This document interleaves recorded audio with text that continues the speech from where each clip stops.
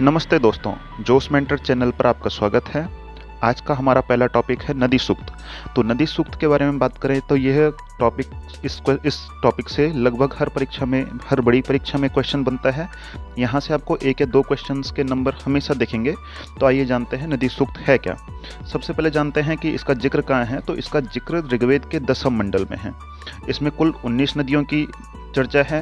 वे सारी नदियाँ जो ऋग्वैदिक और उत्तर वैदिक काल में थी, प्रथम जो नदी है जिसका ज़िक्र है वो है गंगा और अंतिम जिस नदी का ज़िक्र है वो है गोमती। और इसमें एक इंपॉर्टेंट टॉपिक ये है। इंपॉर्टेंट बात यह है कि जिस नदी का ज़िक्र नहीं है, वह ब्यास नदी है। तो ये इंपॉर्टेंट क्वेश्चन है, इसको याद रखिएगा। तो आइए जानते हैं कि ये नदी सूक्त है क्या क्या तो ये यहाँ से यहाँ तक नदी सूक्त है जो ऋग्वेद के दसम मंडल में वर्णित है।